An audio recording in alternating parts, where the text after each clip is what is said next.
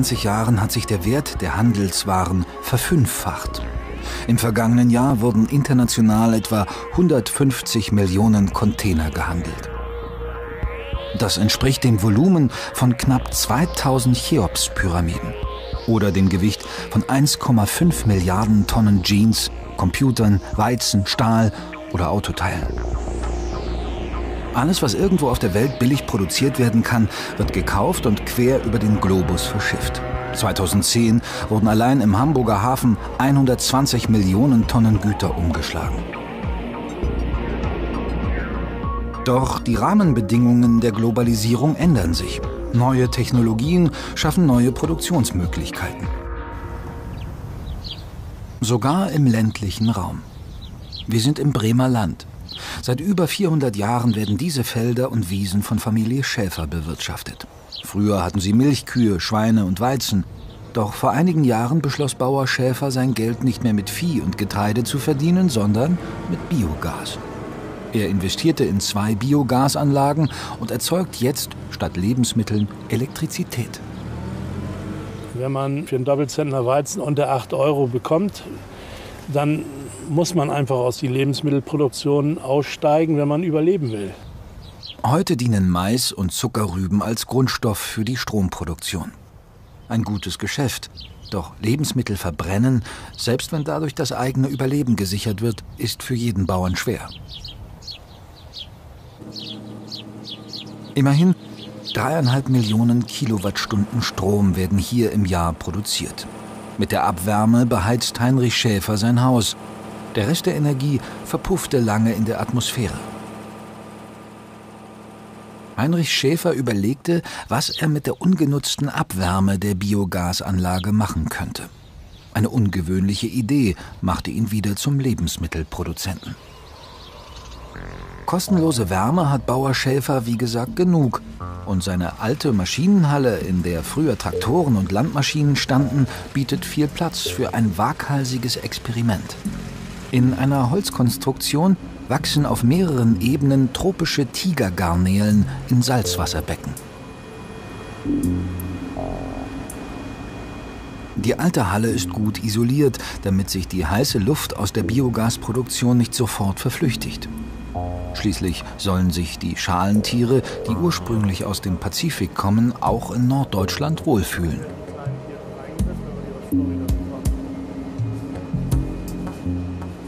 Wir haben ja die Wärme als Abfallprodukt aus der Biogasanlage zur Verfügung. Und das war ja eigentlich auch unsere Aufgabe, die wir uns gestellt haben, die Wärme, die da zwangsläufig entsteht, sinnvoll zu nutzen. Und so sind wir dann bei der Garnele gelandet. Das sind ja tropische Tiere. Das sind tropische Tiere und die fühlen sich natürlich bei dieser Temperatur pudelwohl. Mehr als 170.000 Tiere tummeln sich bei 31 Grad Celsius und über 80 Prozent Luftfeuchtigkeit in den übereinander liegenden seichten Wasserbecken. Oben die kleinsten und unten die größten. Innerhalb von sieben Monaten wachsen sie zur idealen Verzehrgröße heran. Futterrückstände und die Ausscheidungen der Garnelen müssen sorgfältig aus dem Wasser gefiltert werden. Pro Tag werden 500 Liter Frischwasser zugeführt und mit Salz versetzt. Das entspricht der täglich verdunsteten Wassermenge. Sonst wird jeder Tropfen Wasser nach einer Filterung im Kreislaufsystem wiederverwendet. In Südostasien sterben bis zu 50 Prozent der empfindlichen Tiere an Infektionen, trotz Dauereinsatz von Antibiotika. Bauer Schäfer und sein Sohn Marco haben es ohne Medikamente geschafft, die Überlebensrate ihrer Garnelen auf über 70 Prozent zu steigern. Was machen die norddeutschen Bauern besser? Ihr Geheimnis liegt im Wassermanagement. Wissen, das sich Marco Schäfer an einer Universität in Texas angeeignet hat. Der Marco war ja nun auch nicht ganz umsonst äh, lange Zeit in Texas und hat sich über die Garnele ein gewisses Wissen angeeignet. Und ohne dem würden wir das nicht bewerkstelligen können. Es ist also sehr schwierig, mit diesen Tieren umzugehen. Die tropischen Schalentiere überleben nur dank einer ausgewogenen Mikrobiologie im Wasser. Garnelen scheiden ihr Futter schon nach 20 Minuten verdaut wieder aus. Deshalb sind sie auf Bakterien angewiesen, die ihre Exkremente fressen und das Wasser schnell wieder reinigen. So, das ist jetzt ein äh, Kunststoffgranulat mit einer sehr hohen Oberfläche. Und darauf haben wir eine Mikrobiologie angesiedelt, die uns dabei unterstützt, das Wasser in einer Qualität zu halten, in der die Garnele sich wohlfühlt. Wir setzen äh, in keiner Weise Antibiotika oder irgendwelche Medikamente ein. Das können wir auch gar nicht, weil wir diese Mikrobiologie erhalten müssen. Mit Antibiotika würden wir sie abtöten. Hier liegt das Geheimnis, warum Bauer Schäfers Garnelen nicht krank werden. Sie leben in einer perfekten Symbiose mit den Mikroorganismen im Wasser.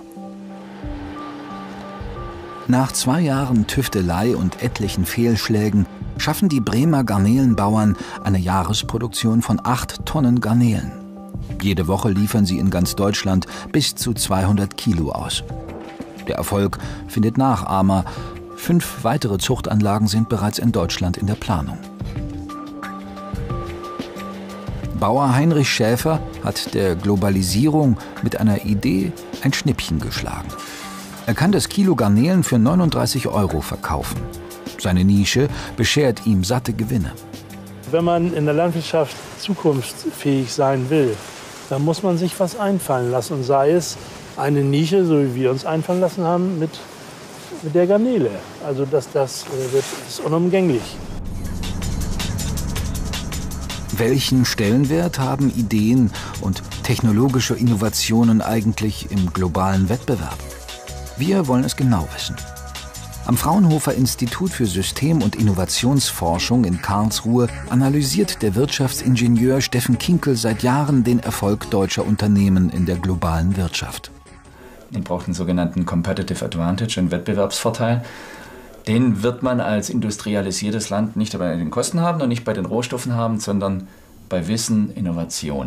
Das heißt, ich muss in bestimmten Bereichen, das muss gar nicht flächendeckend sein, ich muss mich in bestimmten Bereichen spezialisieren und technologisch, innovativ, organisatorisch zu, dem, zu den Besten der Welt gehören. Dann habe ich eine Chance, in diesen Bereichen äh, globale Wettbewerbsvorteile zu erzielen und hierfür spezialisiert meine Produkte in der Welt abzusetzen. Innovation ist ein Rohstoff, der überall auf der Welt gefragt ist. Der entscheidende Wettbewerbsvorteil.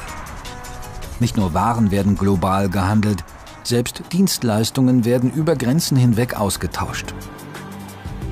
In der deutschen Hauptstadt wird dies besonders deutlich. Die Wäsche der großen Berliner Hotels wird längst nicht mehr in der Wäscherei um die Ecke gereinigt.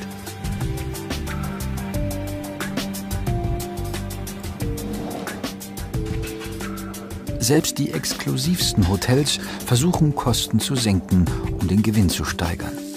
Der Appell ans ökologische Gewissen der Gäste entlastet die Umwelt und spart bares Geld. Wer in den Luxushotels am Potsdamer Platz übernachtet, bekommt jeden Tag frische Wäsche.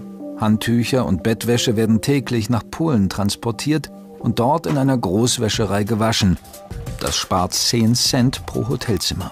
Kann das nachhaltig und umweltschonend sein? Im Monat kommen bei 8000 belegten Zimmern allein im Grand Hyatt 60 Tonnen Wäsche zusammen. Die Sattelschlepper der Firma Fliegel transportieren jeden Tag 40 Tonnen schmutzige Wäsche aus Berlin nach Polen und zurück. Die Großwäscherei ist zum Marktführer in Berlin geworden wir verfolgen den Weg der Hotelwäsche von Berlin bis ins 145 Kilometer entfernte polnische Gryfino.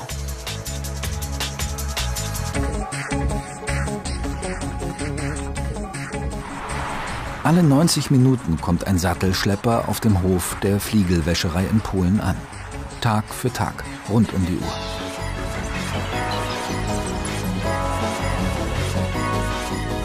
Die Wäscherei liegt in der Nachbarschaft des größten Kohlekraftwerks in der Region Stettin. Der Dampfdruck aus dem Kraftwerk ist ideal für eine moderne Wäscherei und kostet einen Bruchteil dessen, was er in Deutschland kosten würde. Vor 20 Jahren haben die günstigen Lohn- und Energiekosten in Polen dabei geholfen, die modernste Großwäscherei im Berliner Umland aufzubauen.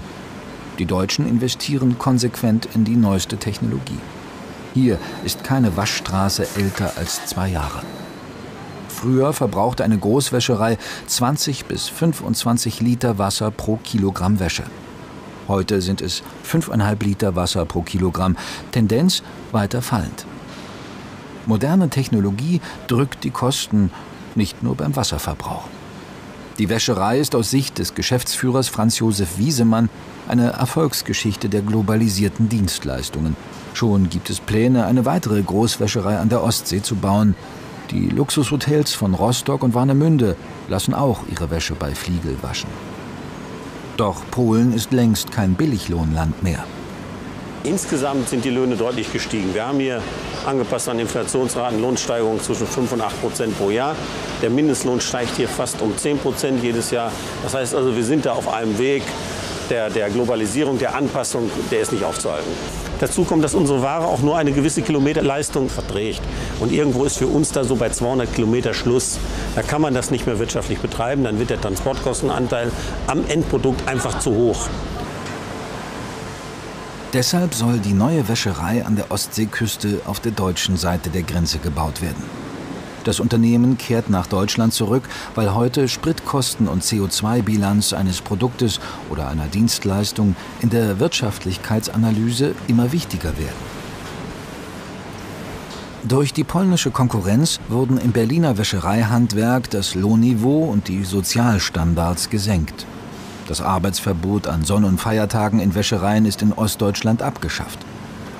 Globalisierung gibt es nicht nur bei Dienstleistungen, sondern auch in der Lebensmittelproduktion. Auch hier ist die Nähe zum Verbraucher ein entscheidender Faktor. Während Europa mit einem Überangebot an Nahrung kämpft, verdirbt ein Großteil der Nahrungsmittel in Entwicklungsländern schon auf langen Transportwegen. Dabei wollen immer mehr Mäuler gestopft werden. 2011 gibt es bereits 7 Milliarden Erdenbürger und der Hunger ist immer noch weit verbreitet. 2050 werden dann schätzungsweise 9 Milliarden Menschen auf der Erde leben, mehr als 70 Prozent davon in immer größeren Städten. Eine neue Bewegung von Stadtfarmern hat sich zum Ziel gesetzt, die wachsende Menschheit in Zukunft trotz Landknappheit zu ernähren. Und zwar mitten in der Großstadt damit der Weg vom Erzeuger zum Verbraucher möglichst kurz ist. In der Schweiz, weit weg von Hunger und Megacities, beschäftigen sich Wissenschaftler schon länger mit dem Welternährungsproblem. Die Zürcher Hochschule für angewandte Wissenschaften ist bekannt für unorthodoxe Lösungsansätze.